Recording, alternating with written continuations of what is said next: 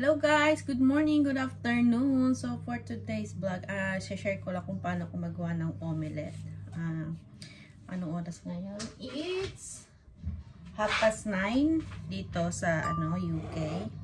And gagawa ko ng breakfast ko. So simple lang. Uh, pakita ko sa inyo kung paano ko ng aking uh, omelette. Ayan. Stay tuned lang kayo. So first, i-prepare ko lang itong uh, spring onion.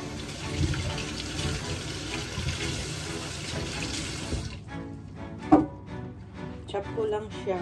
Mabilis.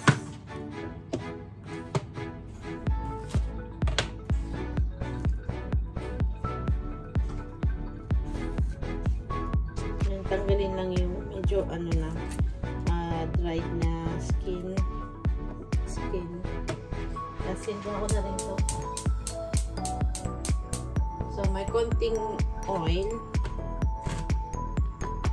sa kawali.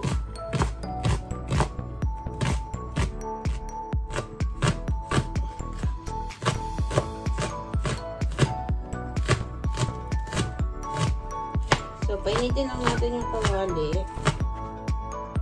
Meron ako dito ang dalawang itlog. Bit ko lang siya. Hindi nyo kita, no? Ayan. Bit ko lang siya.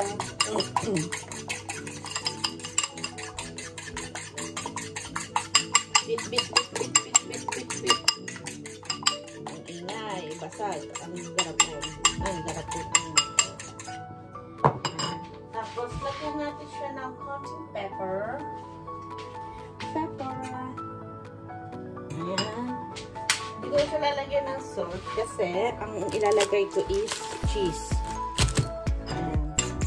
Siya ang pinaka pinakaalat.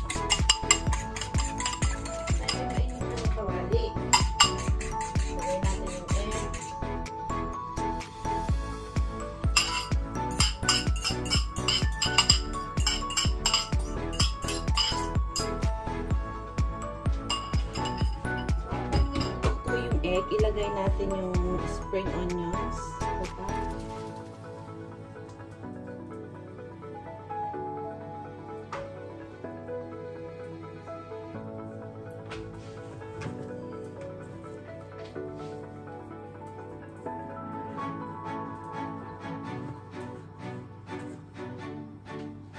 Mamaya ako pakita sa inyo guys. Mahirap na, wala tayong ano, katulong. Tapos, uh, mag-grate tayo ng cheese. Ayan. Cheese, cheese, cheese.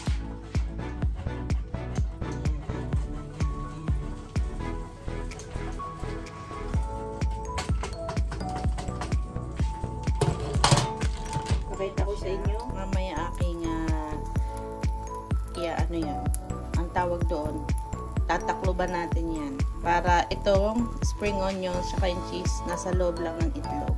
Okay? So, akin lang siya.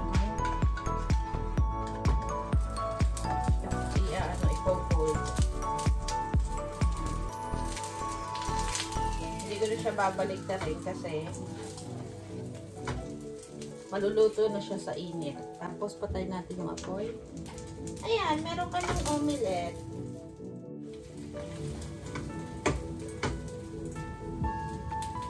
Maluluto na siya sa init. Tapos lagay natin sa pinggan.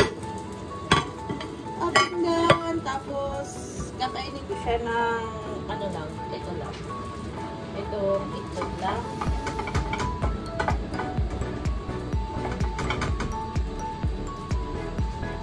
So, ready na yan. Lagay ko na sa pinggan.